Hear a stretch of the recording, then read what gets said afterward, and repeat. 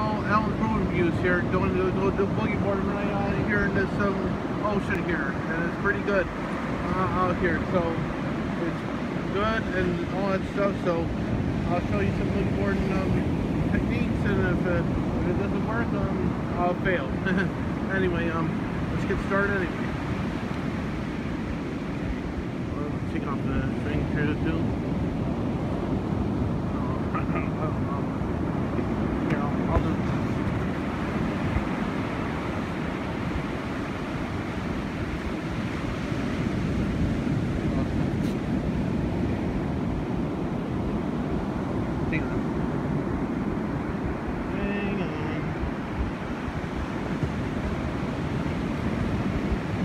Now I'll show you how real stuff. there we go. Here we go.